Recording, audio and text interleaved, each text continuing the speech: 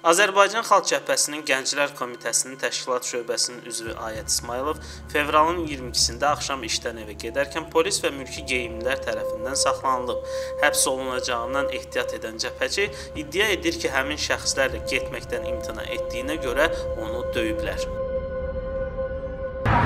Dünən axşam radələrində işdən çıxıb evə gedərkən Azadlıq metrosunun yaxınlığında metrodan çıxarkən 4 nəfər polis tərəfi, bir nəfər də mülki geyimlər tərəfindən saxlanırdım.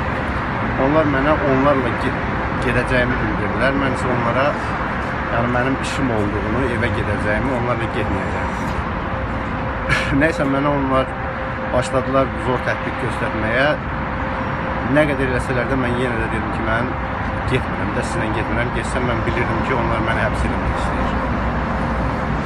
Başladılar məni döyməyə, heç vurdular, denizin gözümdə bugünə saldılar. Ondan sonra bir nəfər mayor dedi, gəl, dedi, qoşdu. Mən zəng vurdum, yəni ötürdüm Seymur Həsənov var bizdə.